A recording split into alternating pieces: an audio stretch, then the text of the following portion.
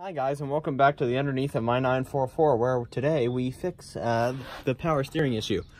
So first you got to take off this big old skid plate right here with 10 millimeter. It's probably a little bit smaller than that but I don't have anything smaller than that. It'll be okay. I'm sorry for everyone that's gonna get upset because it doesn't fit perfectly.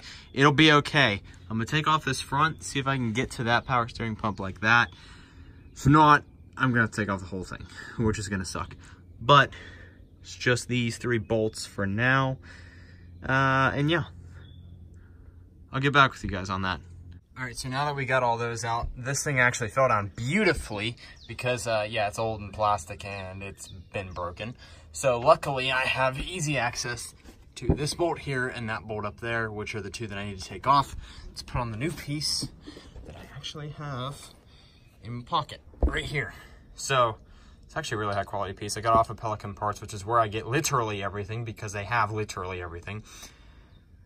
Um, I also know that those bolts are 13 millimeter and so are these because of their website, because they have amazing, amazing how-tos and yeah, they're amazing. So go check them out.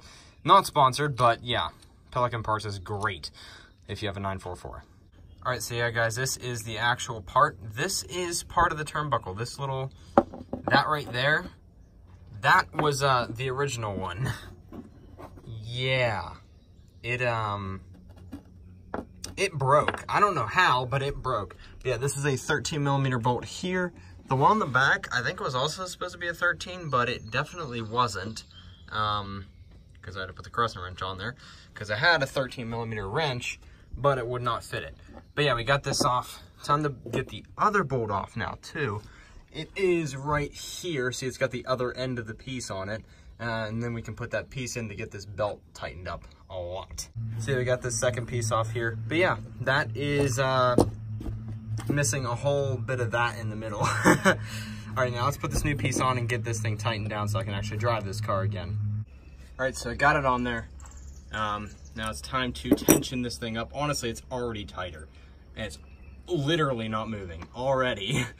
so this, I think this will actually fix it completely. Well, not completely. It's still gonna leak a little bit because as I discovered earlier, well, late last year, there's a little bit of leak that comes right out of here if you turn all the way to the right, I think.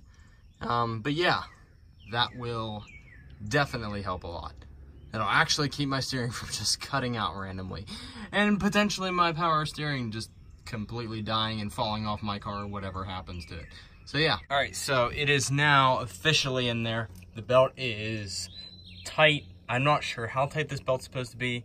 Um, I couldn't find anything on that. So I made it a little bit looser than the main serpentine belt because I figure it's smaller. It probably shouldn't be as tight or it might break easier. I don't know. Uh, it's just a thought. If you guys know how tight this is supposed to be, please let me know in the comments down below. Um, but yeah, we tightened this down, got it supported. This thing ain't moving nowhere. We got them bolts real tight on there. So yeah, I think I think it's fixed. But there's only one more thing to see. Start it up, see how that belt rolls. Um, and then we can even see if we can get it off of this ramps, which I mean, we have to put a lot of wood down because obviously it's fairly low-ish and it will scrape. So yeah, it's time to start it up after I wash my hands first because I don't want to get stuff all over the interior. Also, I need to make sure I don't have stuff all over my back. But yeah, hopefully it's fixed. All right, let's go ahead and see if she starts up. I'm sure she will. Um, yeah, I have no doubt in my mind that it'll start. But we are going to start her on up here, analyze how this belt is doing.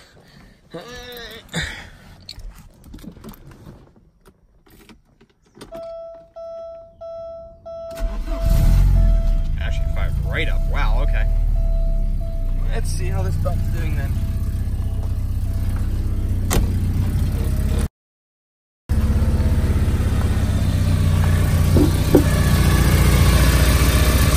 Pretty good. Pretty good. Alrighty, well let's put the skid plate back on, get her off the ramps, see if she turns properly. Alright, so guys, we got the 944 down without scraping. Um, now, I want to check something. coolant. I ran out, basically, almost, uh, a few weeks ago. Um, now, I don't, it's blue. I know the blue, coolant's blue, the is cool. The coolant's blue, you can see where it's been in here, but there's no, like, actual mark. You can see it moving, like I've seen before when I filled it up. So, hopefully I don't have another coolant issue.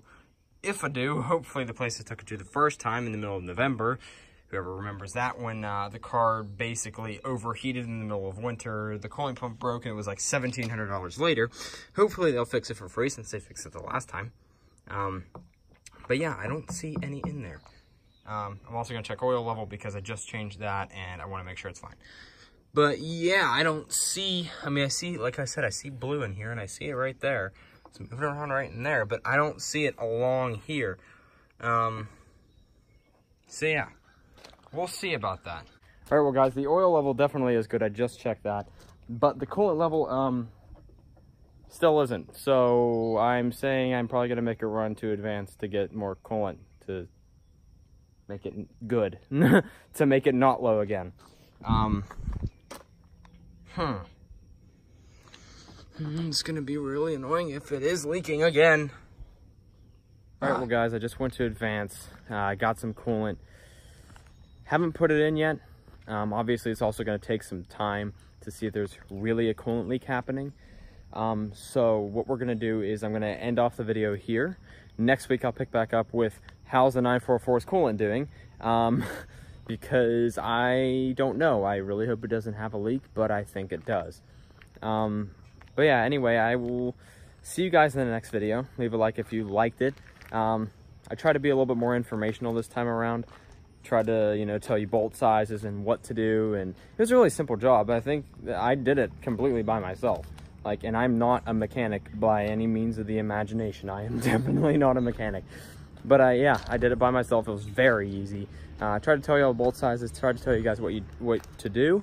Um, recommended some stuff for you guys. So if you do have 944s and you have that same issue where the steering just all of a sudden stops working and then starts getting and stops and starts and stops and squeaks and stuff, yeah, check that uh, check that um, turnbuckle there to see if it's actually still there. Anyway, leave a comment um, what you guys think about that, um, how tense I have that belt.